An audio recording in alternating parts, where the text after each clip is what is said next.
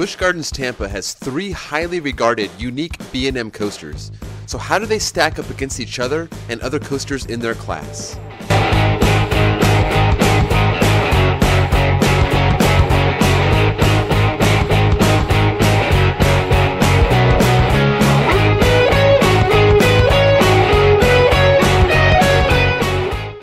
There's a lot of debate over old B&M versus new B&M, and people correctly attribute old B&M with intensity.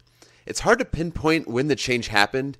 You could argue it started changing with the rise of hypers and floorless coasters that started in 1999, and others may claim that it changed later on around 2012 when they started making gigas and wing coasters and started putting vest restraints on everything. But no matter how you shake it, Busch Gardens has a couple of old school B&Ms. In 1993, Busch Gardens wanted a B&M looper for both of their parks, but B&M only agreed to make one given their other projects at the time. Williamsburg got the short end of the stick and they had to look to Arrow Dynamics to build their looper, which turned out to be the infamous Drachen Fire.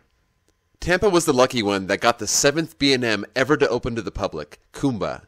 This was the first of only five sit-down models that B&M opened, as the floorless model replaced the demand for these standard sit-downs.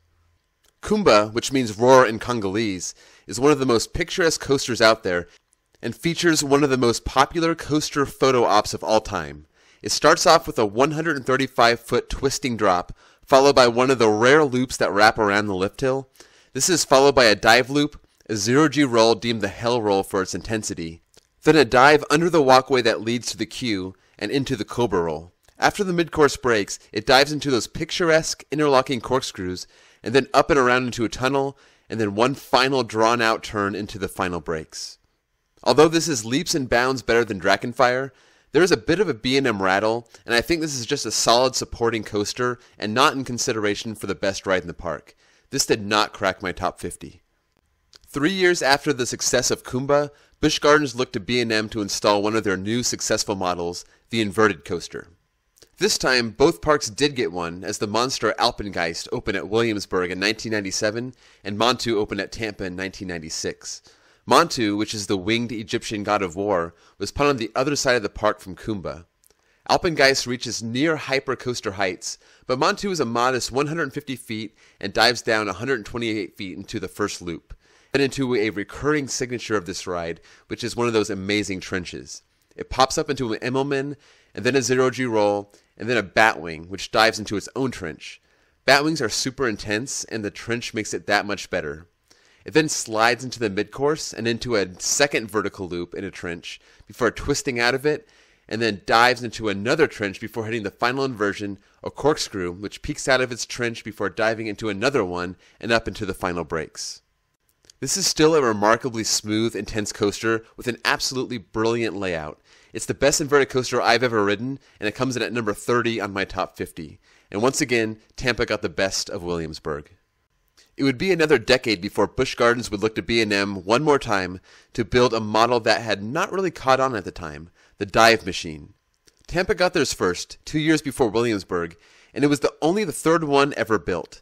SheiKra, the African hawk known to dive straight down to capture its prey, is very appropriately named. It starts with an airtime filled 200 foot vertical drop into an Immelmann before hitting the mid course brakes. It then dives straight down into a tunnel, then turns into the splashdown finale before gliding into the brakes. SheiKra opened with trains that had floors, but in 2007, the same year that Busch Gardens installed Griffon at Williamsburg, SheiKra got the now common floorless train. B&M got to learn and improve on SheiKra when they built Griffon, and though they both have similar first half and a splashdown, Griffon features a second Immelmann after the mid-course. SheiKra is a bit of a one-trick pony, but it's a really fun trick. Those vertical drops with the old school B&M over-the-shoulder restraints allow you to float the whole way down, which was an awesome feeling.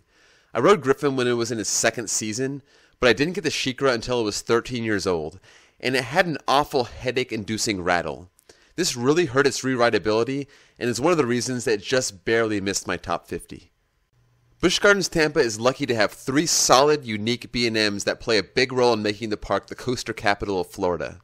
To review, I would rank Kumba last, SheiKra in the middle, and Montu at the top of the B&M class. But let me know what you think of these three coasters and how you would rank them in the park, as well as how they compare to their counterparts in Williamsburg. And as always, be sure to leave this video a like, subscribe if you're new to my channel, and I will see you guys all later.